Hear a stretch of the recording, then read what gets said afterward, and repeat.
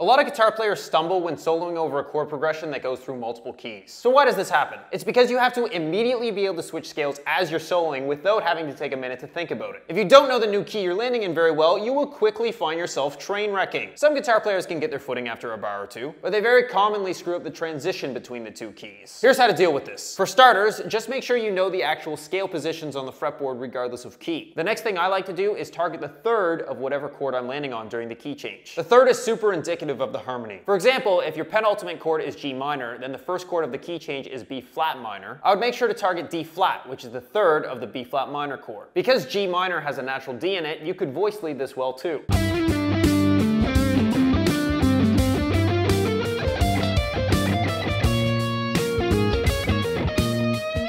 52 Week Guitar Player reopens for enrollment in mid-December. Now is a great time to get on the waiting list too because it's still super early. Sign up to the waiting list now! Now just leave!